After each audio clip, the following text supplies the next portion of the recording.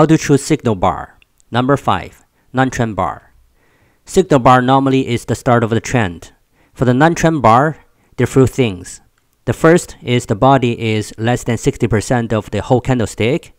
And the second, the probability of the trend start is low with the non-trend bar.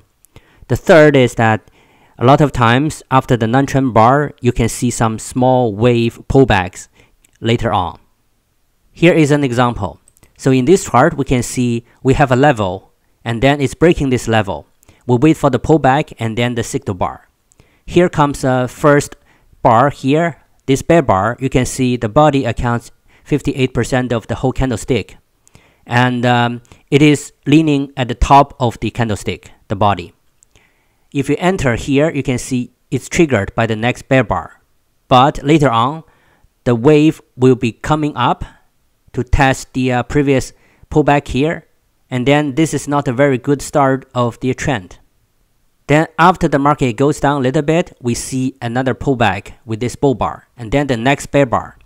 The body accounts 32% of the whole candlestick and if you put your order at the bottom, you can see it's not even triggered and then there are two consecutive bull bars after it. So this bear bar is not a very good signal bar. And then later on, we can see there's another one. This bear bar has a body of 85% of the whole candlestick. So this is a trend bar, not a non-trend bar. You can see the market goes down by two other consecutive bear bars. So you can see this as a start of the trend. After the market pullbacks again, you can see the next bear bar here. The body is 56% of whole candlestick but the body is leaning to the bottom of the uh, whole candlestick. So this leads to a um, trend. It's a start of the trend. And then the next bear bar here, you can see the body is 46% of whole candlestick and uh, the tail at the bottom is big.